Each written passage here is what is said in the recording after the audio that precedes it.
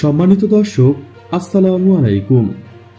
বাংলার তথ্য নির্ভর সর্বশেষ খবরাখবরে যুক্ত হওয়ার জন্য আপনাকে অসংখ্য ধন্যবাদ। জানিয়ে দিচ্ছি আমাদের হাতে থাকা সর্বশেষ আপডেট।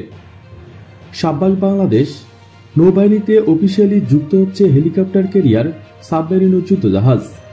বাংলাদেশ নৌবাহিনী অফিসিয়ালি ঘোষণা করেছে যে তাদের চলমান মডার্নাইজেশনের আওতায় অদূর ভবিষ্যতে হেলিকপ্টার ক্যারিয়ার ক্রয় করার পরিকল্পনা রয়েছে। একই সাথে আরও যুদ্ধজাহাজ সাবমেরিন ক্রয় করার কথা উল্লেখ করা হয়েছে। এখন আমাদের মতো ছোট দেশের জন্য হেলিকপ্টার ক্যারিয়ার কি উপযুক্ত? আর এর ব্যবহারের ক্ষেত্রটা কি রকম হবে? আমরা অনেকে হয়তো জানি না বাংলাদেশ নৌবাহিনীর হেলিকপ্টার ক্যারিয়ার ক্রয় করার পরিকল্পনা বেশ পুরাতন।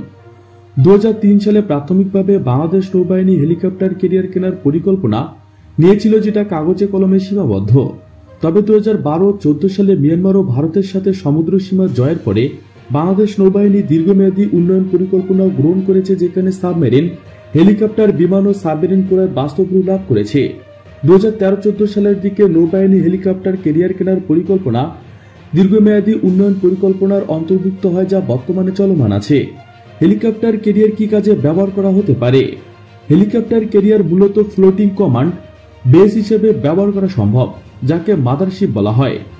যে কোনো প্রাকৃতিক দুর্যোগে উদ্ধার ও ত্রাণ কার্য পরিচালনায় গুরুত্বপূর্ণ ভূমিকা রাখবেন। যুদ্ধকালীন সময়ে নৌবাহিনীর পাশাপাশি সেনাবাহিনী ও বিমান বাহিনীর হেলিকপ্টার পরিবহন করা সম্ভব। যত দ্রুত সার্চ অ্যান্ড রিস্কিউ এবং অন্যান্য অপারেশন পরিচালনা করতে পারবেন। অ্যাম্পিরিয়াস অ্যাসাল্ট উভচর আক্রমণ পরিচালনা করতে পারবেন।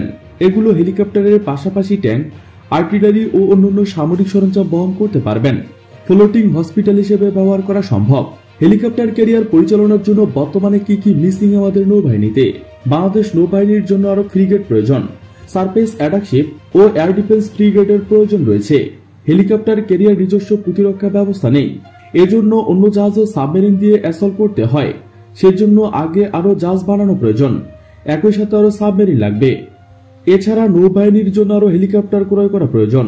এন্টি সাবমেরিন হেলিকপ্টার ক্রয়ের পূর্বে নৌবাহিনী আরও search and rescue utility helicopter ক্রয় করা উচিত যা লজিস্টিক মেডিকেল ইকুয়েশন সার্চ অ্যান্ড রিস্কিউ এবং অন্যান্য ইউটিলিটি জব পারফর্ম করতে পারবেন।